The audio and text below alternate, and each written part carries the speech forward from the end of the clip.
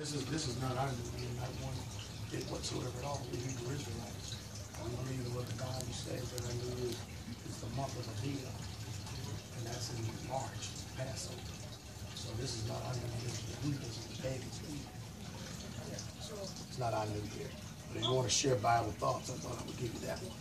Oh, okay, yeah. Right? Yeah, we was actually just want to share a bit of Bible thought. How um, the Bible can help us with so many things. It's Ephesians 4.24. If I can share that with you. Go ahead. I, I know it. Well, go ahead. Okay. Ephesians 4.24. It says you should put on the new personality, shall spread according to God's will, and true righteousness and loyalty. And then you're a man of the Bible, and this scripture really shows how the Bible can help us put on a new personality. So when we, you know, fixing our the things imperfections we have, so we put on new personality to be a better person and draw closer to God. And that's the scripture that we was, I was sharing with our neighbors today. And one of the articles I was bringing out was leaving with our neighbors is this article. It's Well, we're not able to, to accept anything that's not, you know, we just, I heard the book, you know what I'm saying? That's what, uh-huh. that's what we're more interested in, is, is in the word. Improving it line upon line, precept on precept.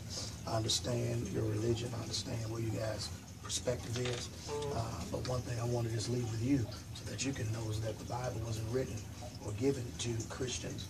It wasn't written to Jehovah Witnesses, Baptists, Apostolic, and any flavor of Christianity. You guys consider yourselves Christian, correct? Right. The Bible was a, it's, a Hebrew book. It's written to Hebrews, for Hebrews, by Hebrews, in every nation, uh, from the beginning all the way to the end. Uh, Abraham was a Hebrew. David was a Hebrew. Uh, Jesus, Yeshua HaMashiach, was all Hebrews. Paul, the apostle that you just quoted in Ephesians, was a Hebrew. Matter of fact, he said he was circumcised on the eighth day from the tribe of Benjamin. So when we look at the Bible from the glance or the, the lens of Christianity, we sort of get it all, you know, we get it uh, uh, looked at from a different perspective. So what we have to understand and know is that it's a Hebraic book. It's for Hebrews by Hebrews. And both of y'all don't realize that y'all are Hebrews. Uh, you don't know that yet because you've been, just like I was, you've been uh, taught by the precepts and the traditions of men. And because you've been taught by them, you have a certain glasses on that you're looking through that you really don't understand or perceive who you are. That's what you always have to start with. Start with who you are first. You're not a Jehovah Witness. You're not a Christian. But who is your nation? What is your nationality? Who are you really? Because they stole our identity. And that Bible talks about people who would go into slavery and they would lose their history, their heritage, and their culture. And they would worship wood and stone. So I want y'all to think about that long and hard, who you are. Can I ask you a question? Absolutely. Do you feel that the Bible benefits for everybody? Well, I believe the, the, the Bible, again, it's a Hebrew book, and it's dealing with a Well, family. Well, it's dealing with a family. Okay, we say the Hebrew. Bible is was written in Hebrew and in Greek scriptures. So do you? I feel. I'm passing that. Do you feel like the everybody, not just Hebrew, can benefit from the Bible? Well, that's that's a matter of perspective because most people won't do what Hebrews do in order to get the benefits from what the book says. Like there's different people that you tell them, "Hey, Christmas is is Jeremiah chapter 10, right? Y'all don't celebrate Christmas, correct? Now you will tell people not to do that, right? That it's in the Bible not to do it. No, we don't.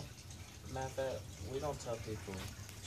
Um, tell people what they should. Well, well I, I put it like this: the Bible doesn't support Christmas. Right. Okay, so in order for you to get the benefit of what the book says, then that means you have to do what the Hebrews did. And the Bible says, learn not the way of the heathen. So the only way they're going to get the benefit is if they do what the Hebrews did, not learn the way of the heathen. So that's to answer your question. Does the Bible benefit? Would it benefit everybody? Absolutely it would. Mm-hmm. But most people, the majority, will not do what the Bible says. The Bible says, remember the Sabbath day. It's a commandment to keep it holy. People think that the Sabbath day is Sunday, and it's not. It's the seventh day, and it's never changed, never been repealed. Christ never said it's been done away with. But the, there's a, a religion that teaches that. So the only way to get the benefit of what the book says is you have to do what the book says.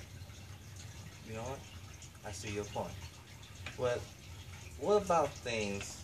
You see how the world is? They're stealing, it's killing, it's dishonesty.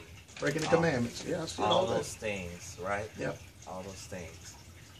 Like the scripture says, put on the new personality. And the way to put on the new personality is read the Bible. But no, that's not what it says. It says put on the new man that's renewed or created after Jesus Christ, right?